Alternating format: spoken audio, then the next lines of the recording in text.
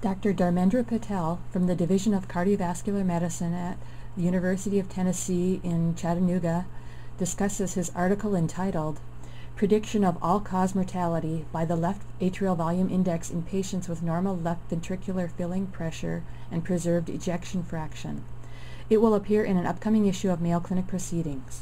Left atrial enlargement is a significant predictor of cardiovascular outcomes and all-cause mortality.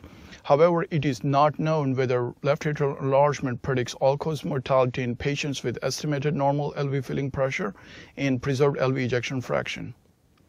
The objective of this retrospective study was to describe the prevalence of left atrial enlargement and its association with all-cause mortality in patients with normal left ventricular filling pressure determined by E to E prime ratio and preserved LV ejection fraction. To evaluate this, we obtained clinical and echocardiographic data from Cardiovascular Information System database that were recorded at Ochsner Clinic Foundation. 10,719 patients were selected for the study who had an E to E prime ratio of 8 or less and preserved LV ejection fraction defined as LVEF 50% or more. Patients with moderate or severe valvular heart disease and irregularly irregular heart rhythm were excluded. Patients with missing clinical or echocardiographic data were also excluded from the study. Left atrial enlargement was determined using left atrial volume index. The endpoint was death due to all causes. During the mean follow-up period of 2.2 years, 479 or 4.5% patients died.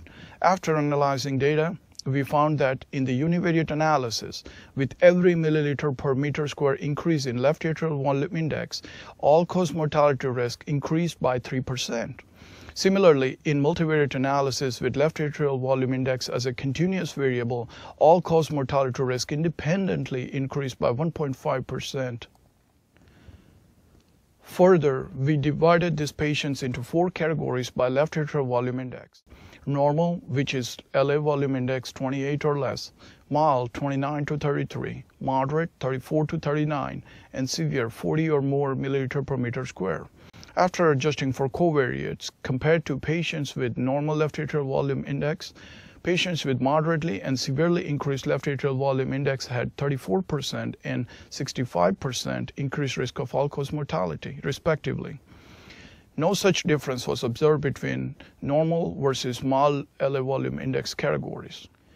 Similar to the multivariate analysis, Kaplan-Meier survival analysis by LA volume index categories revealed statistically significant worse survival in patients with moderately and severely increased LA volume index compared with those with normal LA volume index. Based on these findings from a retrospective study of a large clinical cohort of patients, we concluded that in patients with Doppler-derived estimated normal LV filling pressure and preserved LVEF, LA enlargement was independently associated with an increased risk of all-cause mortality. We hope you found this presentation from the content of Mayo Clinic proceedings valuable. Our journal's mission is to promote the best interests of patients by advancing the knowledge and professionalism of the physician community. If you are interested in more information about us, our homepage is www.mayoclinicproceedings.org. There you will find access information for our social media content such as additional videos on our YouTube channel or journal updates on Facebook. You can also follow us on Twitter. More information about healthcare at Mayo Clinic is available at www.mayoclinic.org. This video content is copyrighted by Mayo Foundation for Medical Education and Research.